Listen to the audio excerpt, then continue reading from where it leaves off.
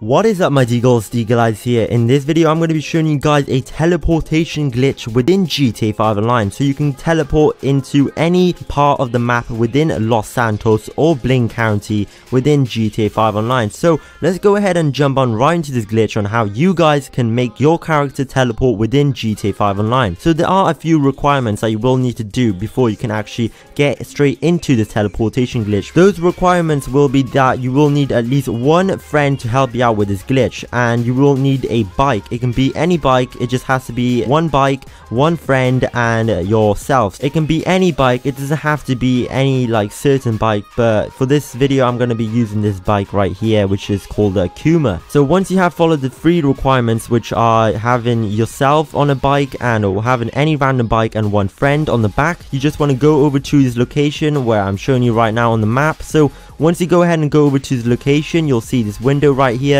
and you can just go ahead and just drive straight through it and you will fall right into the map within GTA 5 Online and you just want to lift up your bike and you will get further. So this is an amazing way to teleport within GTA 5 Online. This is like an awesome teleportation glitch on how you guys can teleport into any side of the map within GTA 5 Online. But you also want to make sure that you avoid the water obviously because if you go right into the ocean or something like that then something bad will obviously happen. But yeah, you just want to make sure you avoid all the water. So once you're going ahead and go over to any area, just want to make sure your friend, you know, jumps out of the uh, bike by hitting triangle or Y depending on what platform you're playing on and then you will be spawned on top of the uh, map once again. So that's how you can guys can just do this teleportation glitch within GTA 5 Online. For this teleportation to be successful, your friend has to get out at the right time and you know, you guys need to make sure the timing is right so that's like probably the hardest part of the teleportation glitch